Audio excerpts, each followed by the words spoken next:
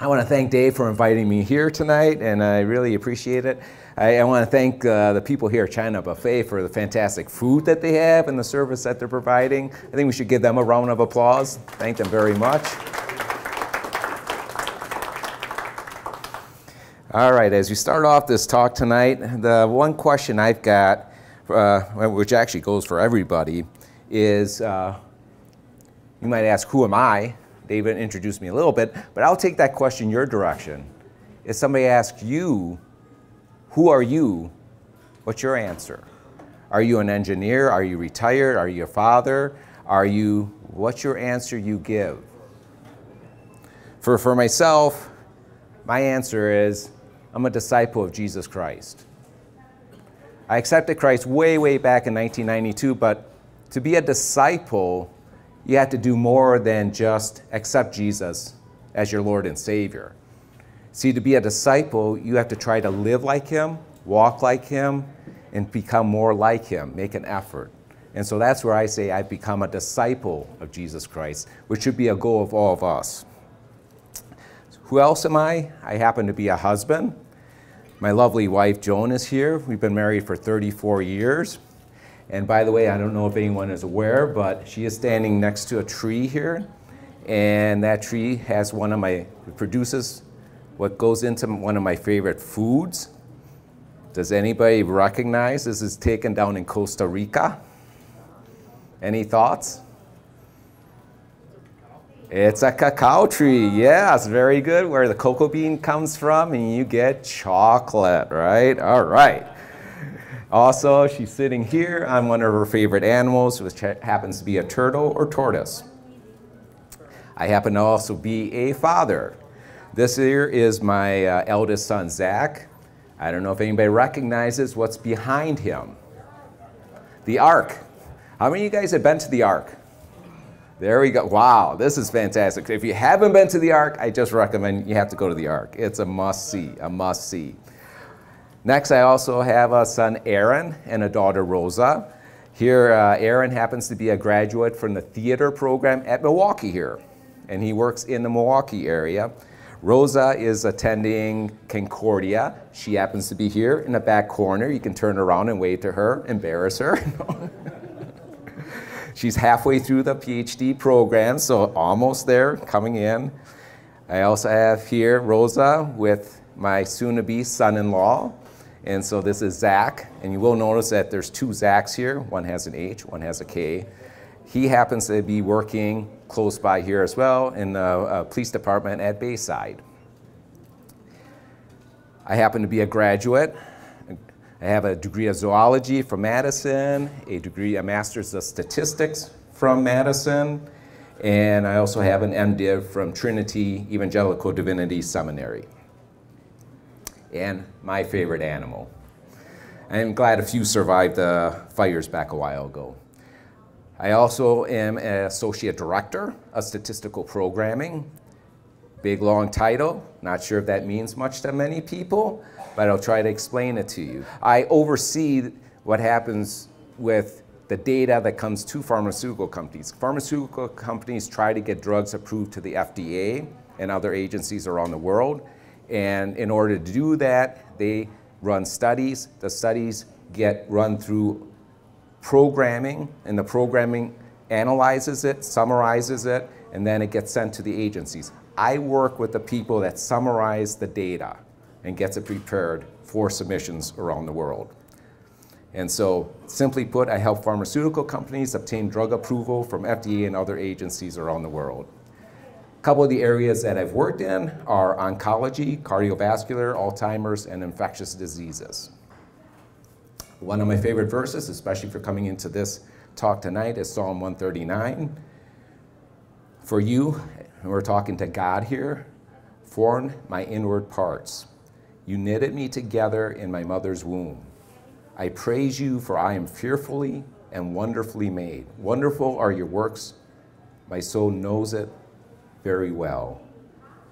As we go into a talk of abiogenesis and science, to me, it's great comfort to know that I am made by God. I am knit together by God.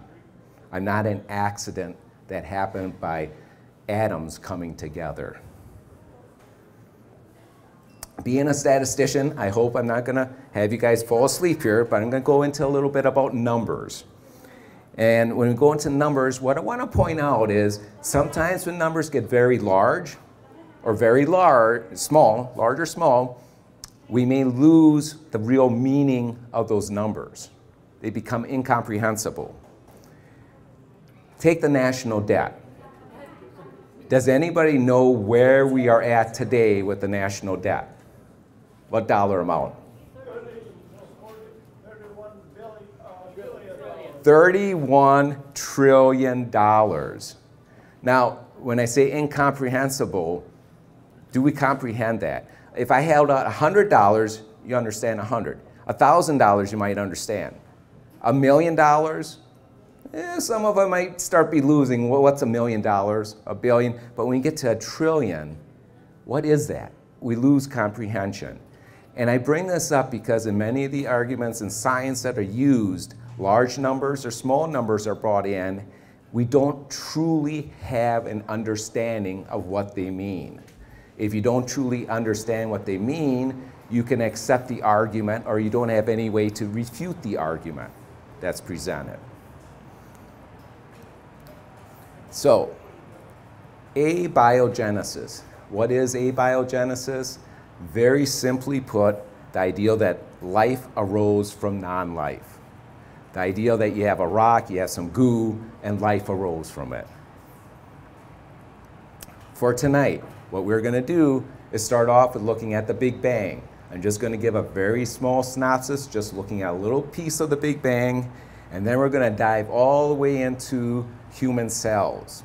And from the human cells, we're going to st start at the cell membrane, move on to amino acids, proteins, and DNA. And I'm not going to get into a lot of details if you're worried about that. If you wanted the details, I'm sorry. okay? I'm going to try to keep this as simple as possible, but try to prove some very, very important points here tonight. So, first off, a little bang. Let's see if the little bang works. And this is a demonstration, demonstration to kind of set you up for the Big Bang.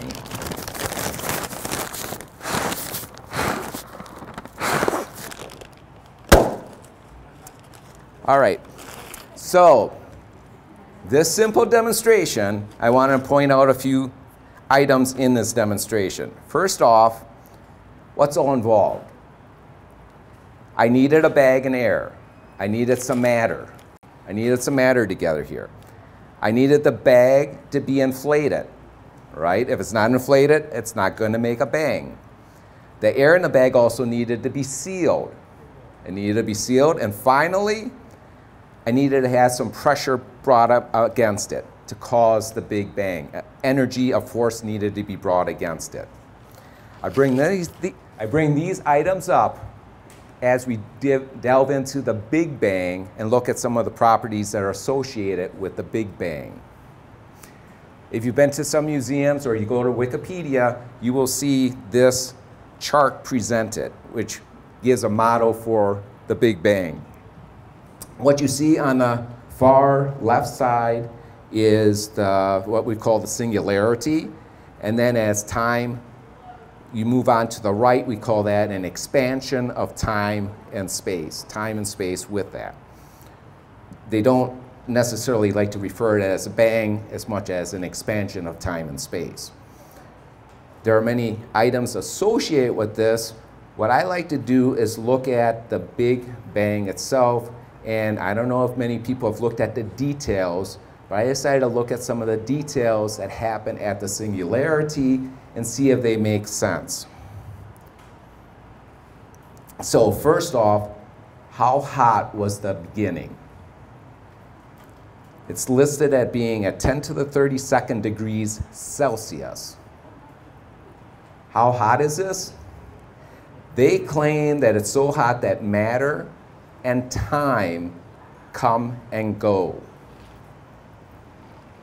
Let you think about that a little bit. Time and matter come into existence and leave existence. Again, and, and I should qualify, not all the scientists around believe in the same theory itself, But for the people that are published on Wikipedia, this is listed there.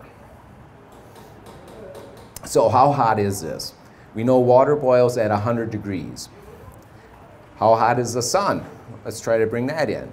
The surface is about 5,500 degrees, and the core is at 15 million degrees. So let's do a comparison here.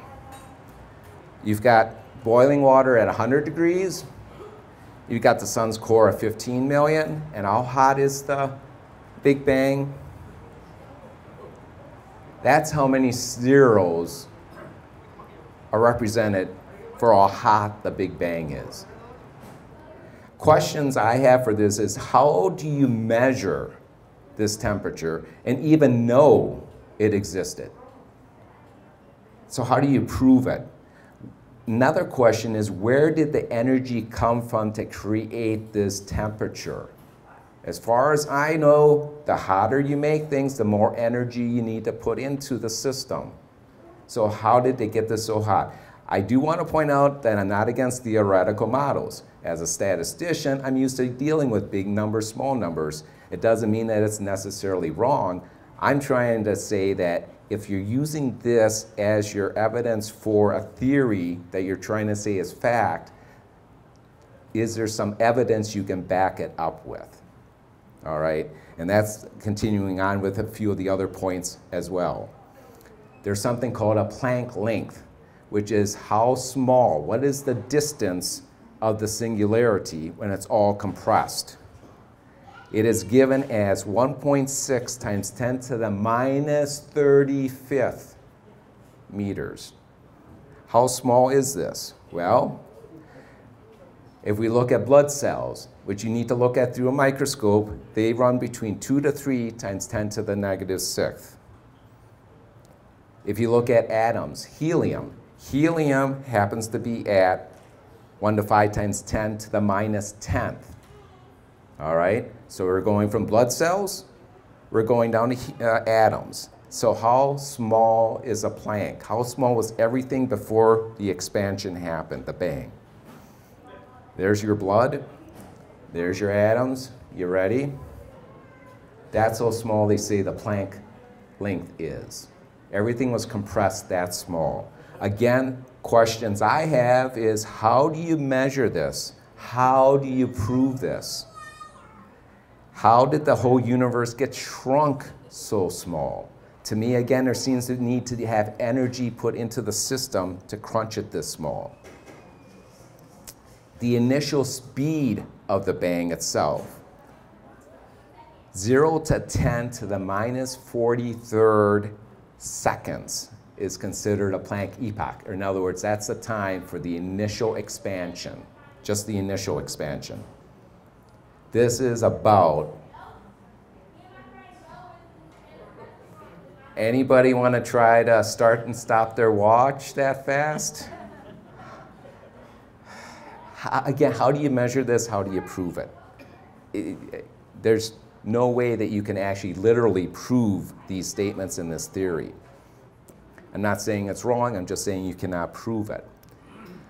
So, challenges of the Big Bang just challenges in general for the Big Bang. Where did matter come from? We need to have a start with matter. What existed before the Big Bang? Was matter always here? Where did it come from? What caused the Big Bang? Again, if there's, we had a stasis of the singularity, why did it suddenly expand? Why did it, you know, what caused it? What caused it to change state? Did time always exist? Again, they have time coming and going. I could question, you know, we talk about God being eternal. This is one that kind of throws my mind a little bit. Uh, God's eternal, and how far back does that go? I, that's a little hard even for myself to comprehend. What is a singularity? Within the scientific community, this is highly even debated if the term is correct. And so, with that term, what exactly is it? Why is there an acceleration of the expansion of the universe? For some of you who may not be aware, the universe is not only expanding, it's accelerating. on the expansion. That's been measured. What is causing an acceleration? It, you push something and it should start to slow down, all right? That's not happening right now. Likewise, why does our spiral galaxy even exist?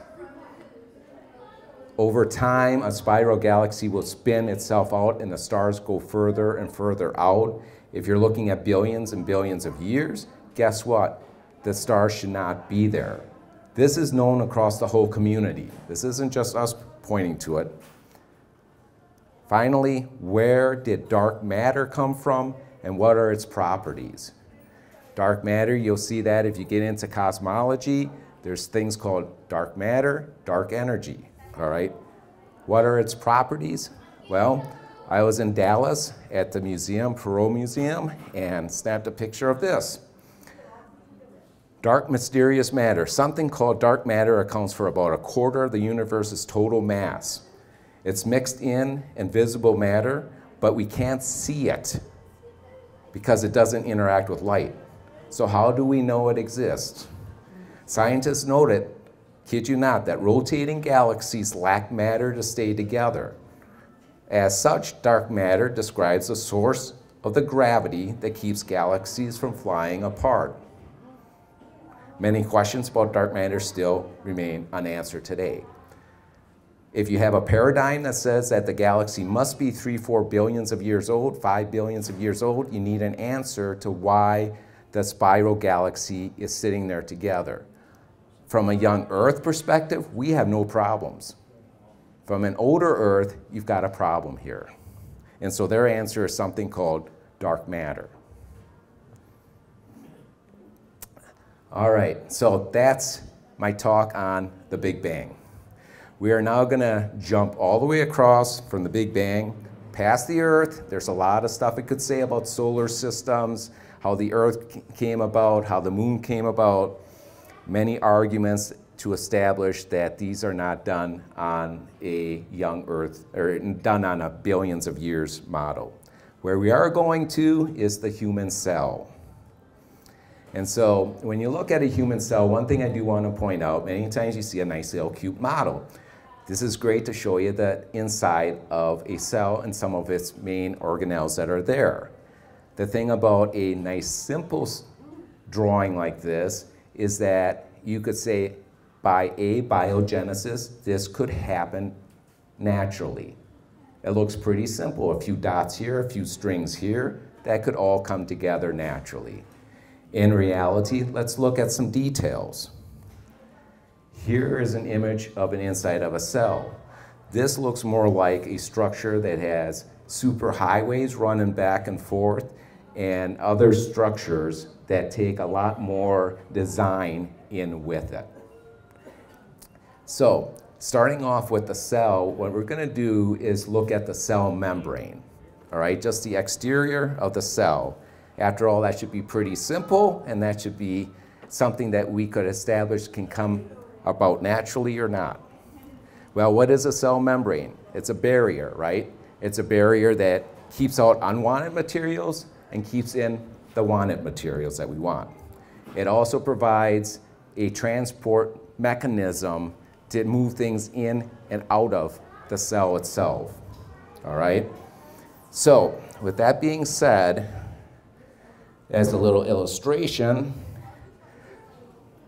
here I have a water balloon.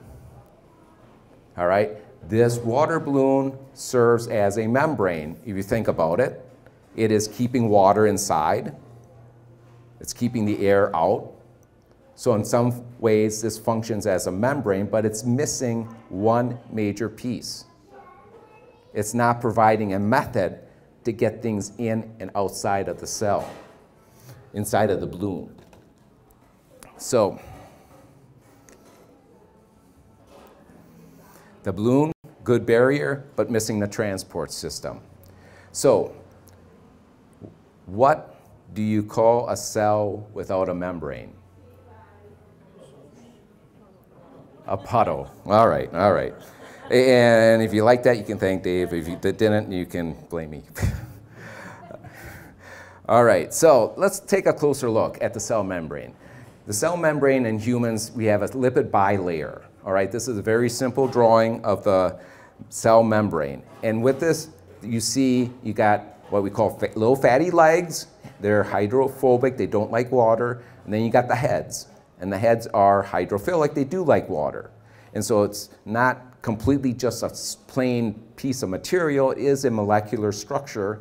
Little legs, we've got two of them. And not only that, but it's a bilayer, so you've got both directions. You've got a lipid below and a lipid above, so to speak, forming a bilayer. What's cool about this property, it keeps out water while still allowing oxygen, carbon dioxide, and steroids to pass through. So a question we want to ask is, can this be created naturally? Can we actually come about this naturally? Well, you may be surprised, but if you have a phospholipid solution, you can get these structures to form. You can get something called a liposome, which is a sphere of a lipid bilayer. You can get a micelle, which is not a bilayer, it's just got a single layer. And then you can get a sheath. All right, and so you got a bilayer sheath. And so these can form if you have phospholipids floating in a solution and you let it settle. Question you may want to ask is, can this solution happen naturally? I don't know. It's just a question I would pose and do more follow-up. A bigger question, a bigger question is, how would you go from this lipid bilayer to a living cell? We're just on a surface here. We're just on a surface. We need a living cell. How do you get from this? If you look at the liposome there, we need inner materials. I like to say which came first. You've got a cell membrane out there, and did that exist first and then somehow we got DNA and proteins inside of it? And then you got that whole inner workings all started working? Or did you have a sheath, a sheath sitting there, and let's say you had some DNA and proteins somehow gathered together, and the, I guess the sheath comes over and envelopes it like an amoeba, and then you get a cell working? Are you guys following? This is either direction you go, even if you have phospholipids, you're a far way off from a living cell. This is still a far way off from a living cell. In addition, the phospholipid bilayer is a very simple model. What does the cell membrane truly look like? If we look in details, this is what you've got. The cell membrane is embedded in with many different particles, molecules, many proteins. Okay, okay, hold on. If I say protein, are you thinking of the Mongolian beef, the shrimp, those are all good. They were good here. Uh, but we're talking molecular proteins, not that kind of protein. We're talking molecules, proteins that are made by amino acids, all right? And so these molecules that are made are embedded in the cell membrane. They provide structure, they provide transportation of getting things in and out of the cell, and they also provide communication question you might want to ponder is just how much, how many proteins are there in a cell membrane? What percent, if you think, what percent, what percent do you think could just be made up of proteins just in the cell membrane? 5%, 10? That's a lot. They believe 50% of the cell membrane is made up of proteins. You are now looking and thinking about millions of proteins are embedded around a single cell. This is, this is crazy. I mean, this is a lot of proteins.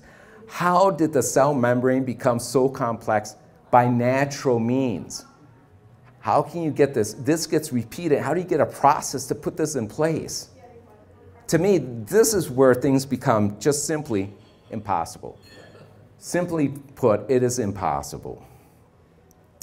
Another way to think about this is how do you go from a mass of phospholipids, living cells, with all that complex inner parts like amino acids, proteins, and DNA? What if you thought about taking a car? take all the parts of your car apart, every single part, lay it across on your yard, maybe on your driveway, if you can imagine doing that. You know, thousands and thousands of parts. You go to bed at night, and the next morning, guess what? Your car's up and running. to me, this is the same kind of direction. If you really expect for a cell membrane to have this many proteins in it operating at a time and accomplishing what it needs to do, it's along that same line of plain and simply impossible. So next we're going to jump into amino acids. What do we know about amino acids? They're organic compound, they're carbon-based. They are building blocks of proteins. I'll be talking about proteins in a little bit, but proteins are built from amino acids. Hundreds exist in nature, 20 are critical to human life. So they've identified 20 amino acids that we need in human life. All right, many of you are probably aware of the Miller-Urey experiment. Now, didn't that just prove that amino acids can naturally be created, right? Well, for those of you who may not know the Miller-Urey experiment done in 1952, what we see here again is the model that was used back then. You've got hydrogen, methane, and ammonia. They were put through some glass tubing. You put an electric spark on it. You have condensation, and then you get the products condensed out. Predominantly tar was brought out. However, they did get some amino acids. In this experiment itself, there are five amino acids discovered. Three are only critical to life, so it's not five critical to life. So, after 70 years, where do we stand today? We've got a lot of technology, and literally there's been thousands of experiments done. Thousands of experiments trying to show how we can get all 20 amino acids produced. Where are we today? They have roughly produced 15 out of the 20 critical life amino acids. Now, I will point out that some of this is also because we have better technology. They can measure very, very small quantities of amino acids. Another thing to point out is even though you can get 15 out of 20, these aren't from the same experiment. Here's a summary of some of the experiments that are done. On the left side, you'll see are the amino acids. And then you've got the Miller-Urey experiment along with the three amino acids that it produced. And since then, they try to change environmental conditions. One of them they're exploring is volcanic discharge. If you had an environment similar to that, how many amino acids can you produce?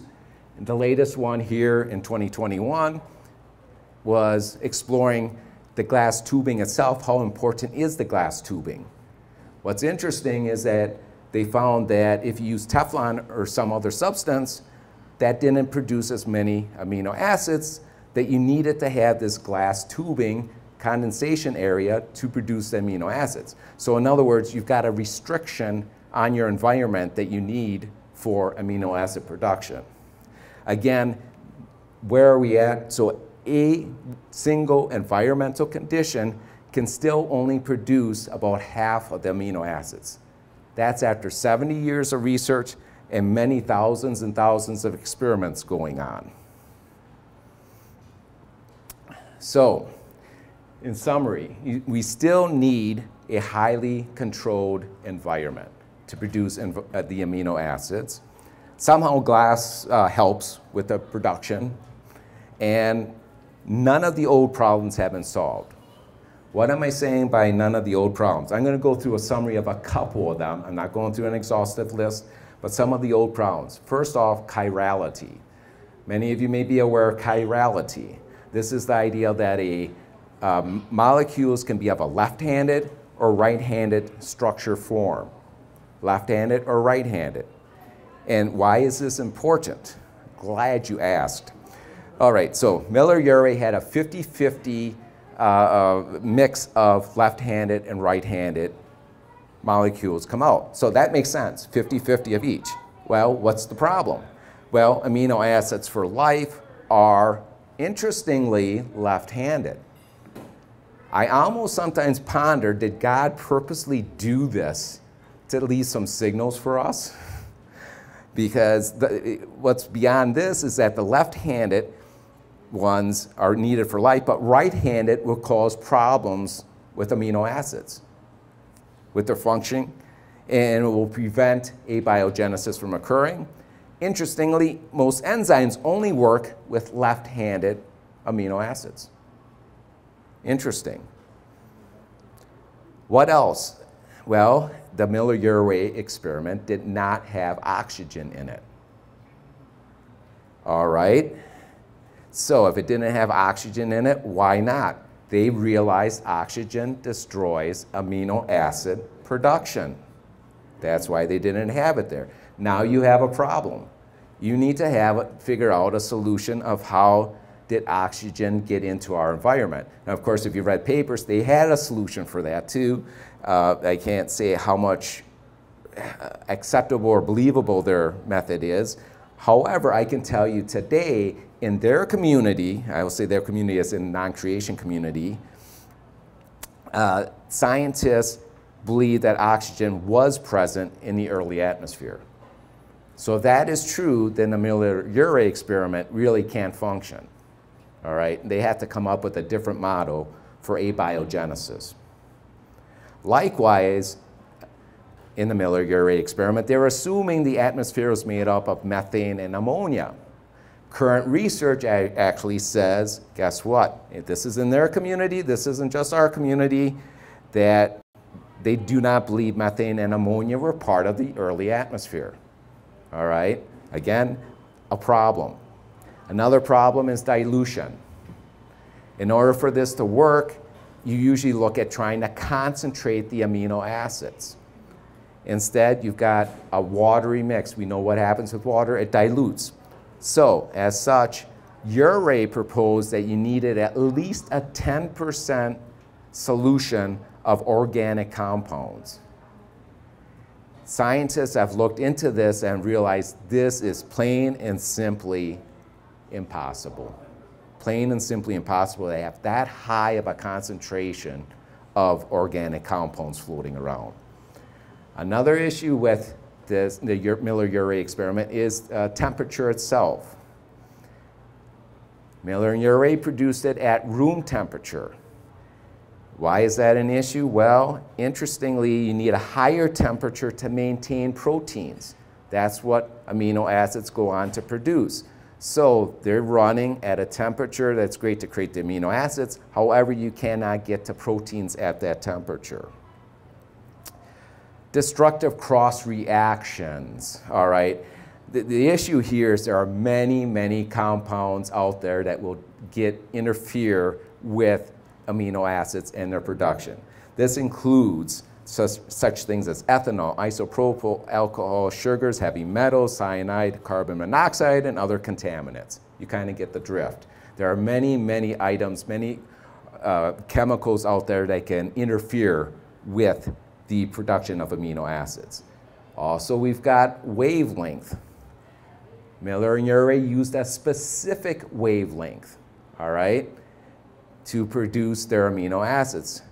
Why did they use just a narrow range wavelength? Well, regular sunlight will destroy amino acids in their production. You have a problem here. Now you've got a narrow bandwidth to create the amino acids, but you need to be out of sunlight. All right, so, so that, that's kind of a contradiction going on there.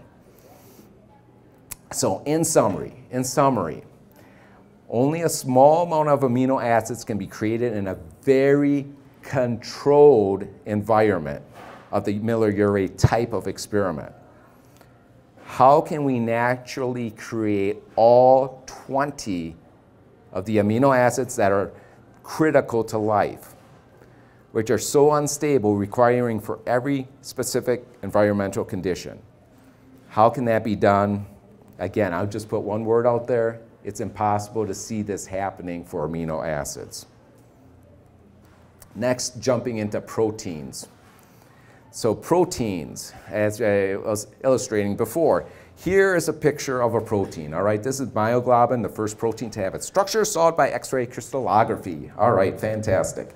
So it is called, it's formed, you see nice little ribbons, a 3D shape.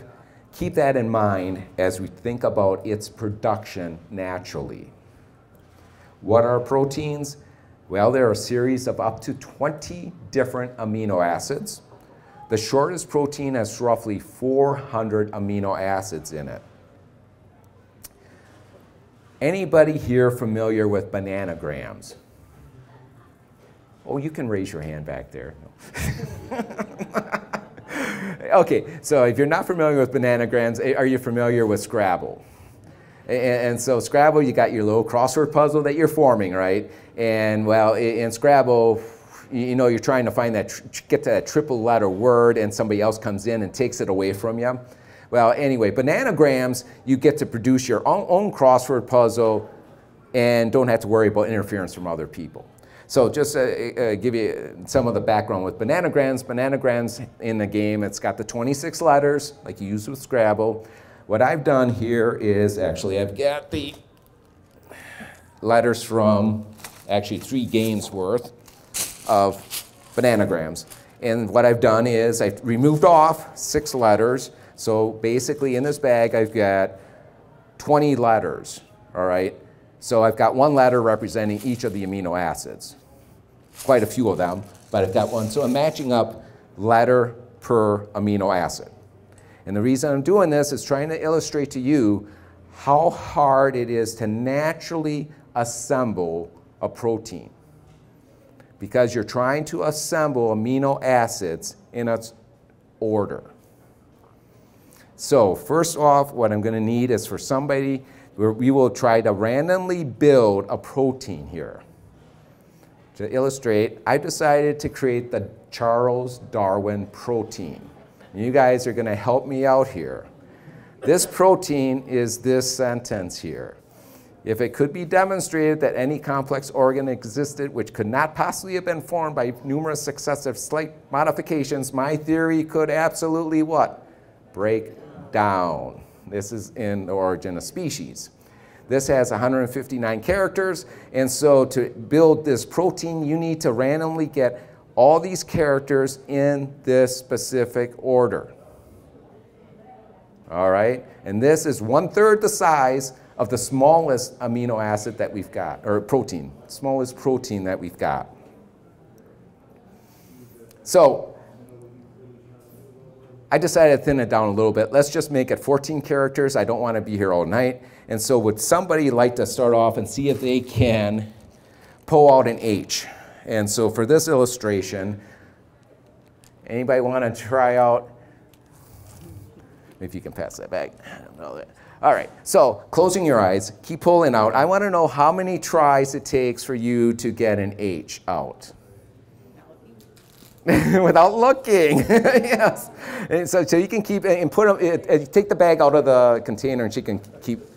And so, so keep pulling out, and you can keep pulling and pulling, and let us know when you get to an H. So as she continues to go here, and if she got an H in the first couple, I was going to take her down to the casino, by the way, and we could be. Uh, How many am I pulling? 14? No, you need an H. Uh, uh, this protein needs to start with an H.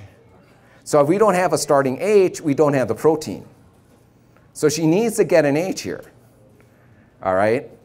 And so, so what is the probability? As she continue, I'll just throw some things out here what is the probability of randomly drawing the, these letters in order, knowing that we've got 20 characters. And this is like building an amino acid. I'm trying to illustrate how can you randomly build an amino acid. The probability for each letter is 1 in 20. So if you're beyond 20, then you're not doing too good. okay? so, but hey, hey, that, that's okay. That's okay. So it's basically 1 in 20 for each letter. Now we need to get these in the right order. So once you have an H, that's 1 in 20. Now you need to get an A. That's a 1 in 20 probability. Then you need to get the V. That's 1 in 20 probability. All right, so how, what is the overall? You got there yet? No? okay, okay. But you, you, can, you can stop. You can stop. That's all right. I was hoping maybe, you know, just by chance here. You have four A's.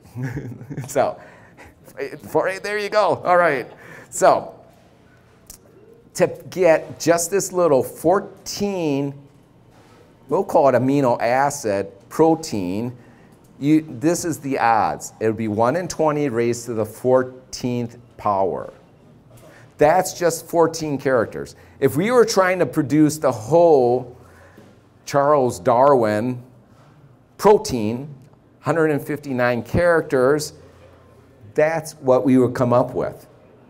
1 in 20 raised to 159th power.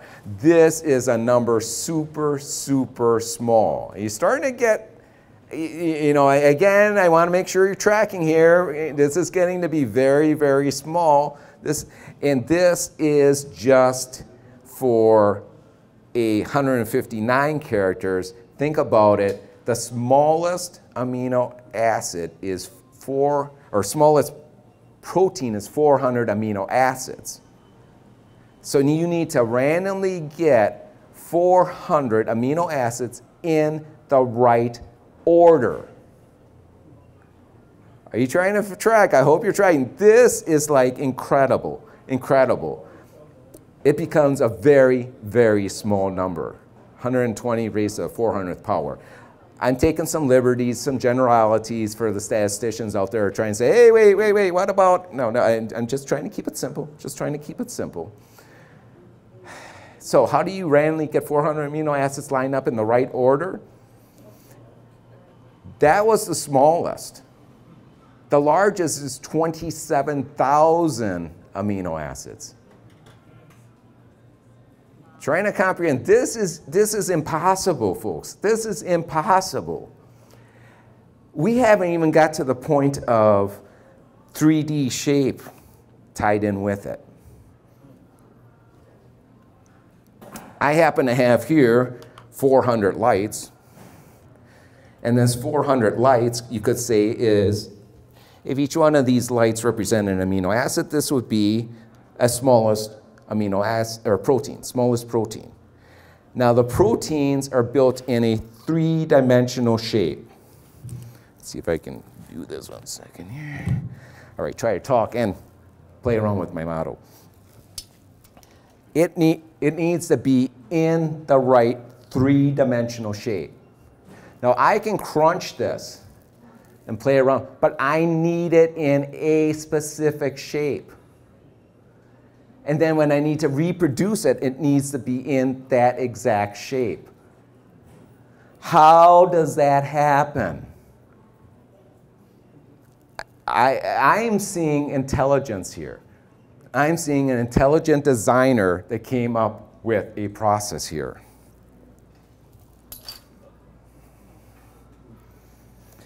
So, how does this all happen by chance? You guys can guess what the answer is? Thank you, impossible. All right. So, how many proteins, how many different proteins are there in us? I've just talked about proteins in general. How many proteins are there in us? 20,000 different proteins. So I was talking about how do you assemble a protein with its amino acids. Now we're talking about 20,000 different proteins. Okay, this should be kind of like, uh, wow, right? How many proteins are there in a single cell? I could take guesses here. How many do you think? How many proteins are there floating around in your cells? Any thoughts? Million, two million, hundred million. Just your cell membrane has hundreds of millions of proteins in it. Just your cell membrane, all right? What we're talking here is one to three billion proteins in a single cell. This is a lot. Think about it. And, and, and you're talking about this happening naturally. Are you kidding me? Are you kidding me? So, how can billions of proteins be made randomly? Thank you. Yes, impossible. So if proteins cannot be assembled randomly, how do they get constructed? My answer would be by intelligence. By intelligence or by DNA. So DNA, what we have here is DNA, and I want you to take note of the 2 times 10 to the negative ninth. That's how thick it is across the two down the helix. This is atomically small. This is very, very small. You're talking 20, 30 atoms across. So a lot of times we see this model, sometimes we look at the cute little picture, but we may not truly understand how small and complex this is. So what is DNA? I'm going to give you the Boyd-Roloff definition. The most sophisticated self-repairing computer program in existence which gives multidimensional instructions for life. I'll let you absorb that a little bit if you wish. If you don't understand that, I'm going to try to unpack it. Why do I call it a computer program? A computer program gives instructions to do things. So a little basics, DNA, and this is as far as I'm going to delve into for the biology part, it's made up of the four different types of nucleotides. You've got adenine, adenine thymine, guanine, and cytosine. Those are your four nucleotides. A single line of DNA gives instructions to produce proteins. On to dem demonstration, my last demonstration. For those who can't read, what this says here is uh, uh, RNA polymerase, all right? This little molecular structure, I like to think of it as a molecular machine, goes up and down the DNA and it reads the DNA. And actually the helix is wrapped up and it has to unravel it, read it, and wrap it back up. But I don't want to go into the whole processes. As it's going along and reading, try to do this with the mic end here. As it's going along and reading, it produces something called messenger RNA. Messenger RNA is a copy of the DNA strand. So it's going along copying it. This little messenger RNA goes on to a ribosome. Well, actually, it gets processed. There's a couple steps involved. Eventually, gets to a ribosome. The ribosome gives instructions to create proteins. It pulls in the amino acids, which assembles the proteins. I don't want to spend time in the translation, transcription stuff. What I'm trying to explain to everyone here is that you have instructions.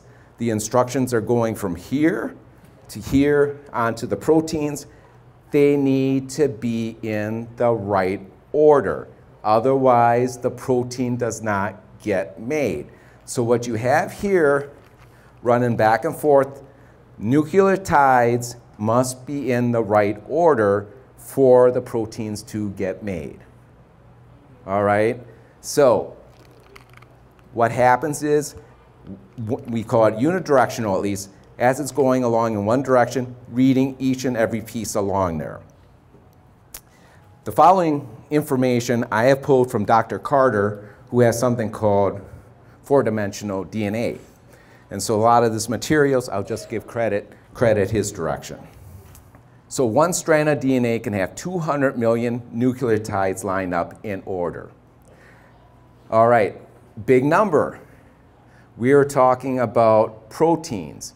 Proteins needing 400 amino acids in a row, up to 27,000. We said that was impossible. That was, we are now looking at trying to get 200 million nucleotides in the right order.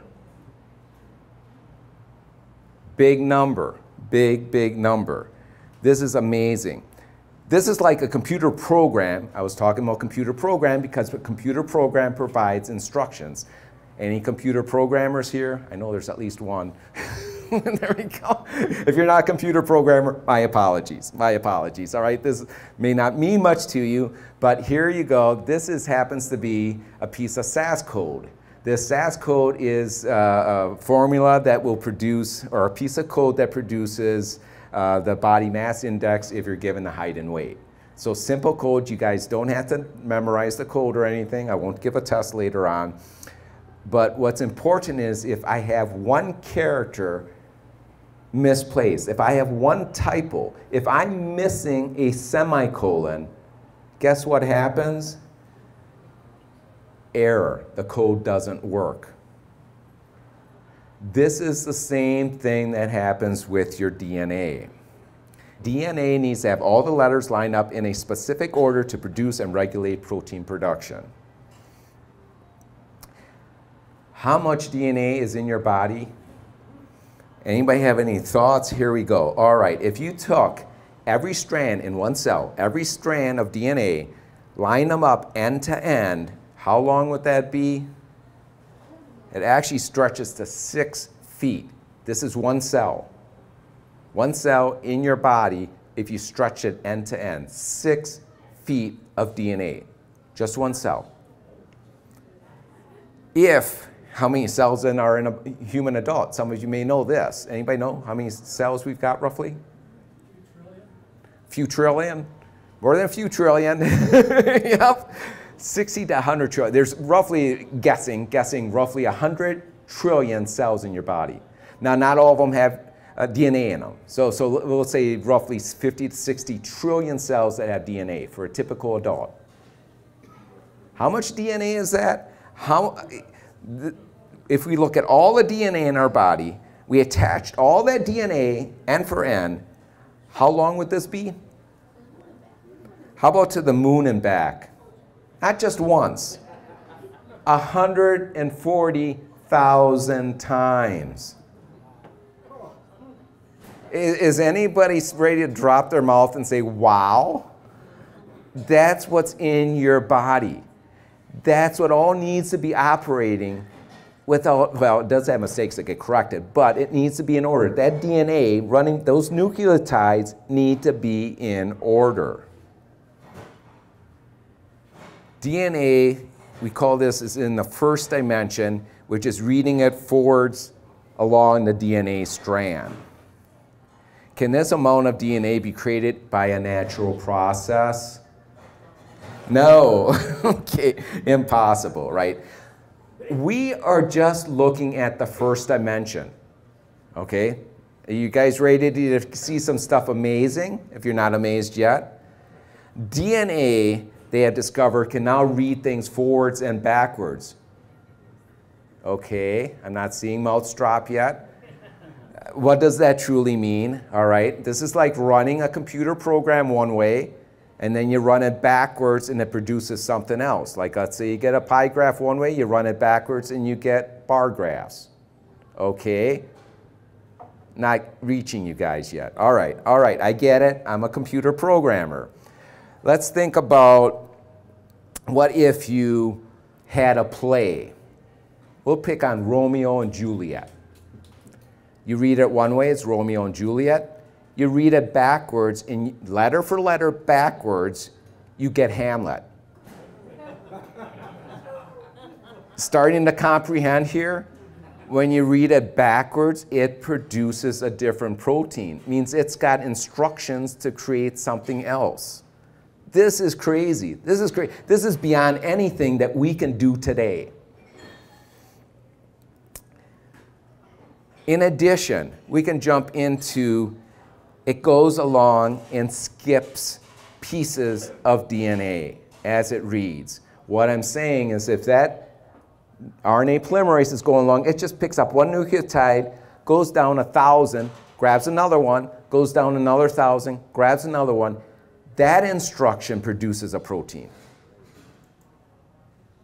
This is, this is like building a code, so to speak, that's getting unraveled, which when I work on code, that's intelligence. This is, this, is, this is crazy. This is absolutely crazy when you think about it. That's our DNA in action.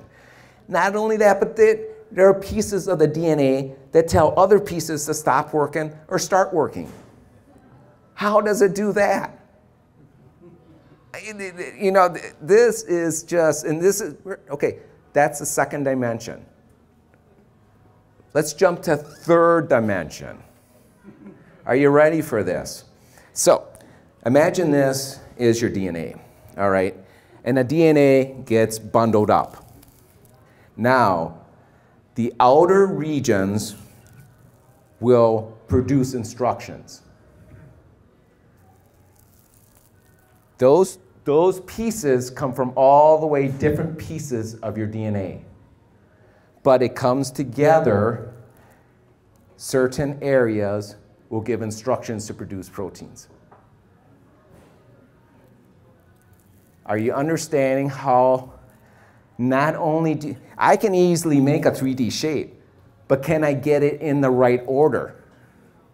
I need to have it in the precise order. And I need to somehow know when I put it together that the different pieces of nucleotides are in that right spot. Do you see intelligence here? So that's, that's the three-dimensional. DNA strategically folded, the outer exposed regions give instructions to do things. How can this happen by chance? okay. We're not done yet. We're not done yet. There's a fourth dimension. Believe it or not, DNA changes over time. We know that partially as we're growing and get older, there's pieces of DNA that change. Dr. Carter gives a couple examples. One of them, he talks about liver. Your liver cells, they will see a, recognize a toxin. How it recognizes it, I'm not sure either. But it will change shapes with a toxin. This is in your liver, and rearrange to produce proteins, enzymes that will detoxify that poison. And then once you're detoxified, it goes and moves back to its original shape.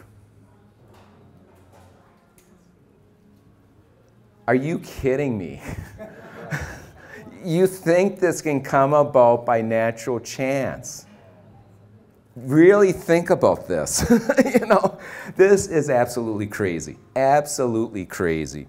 So, what we've got here in the fourth dimension, the toxin. Dynamic programming, those in the computer realm, this is truly dynamic programming, changing over time based on conditions that come into it. How does DNA naturally come into existence with information needed for life?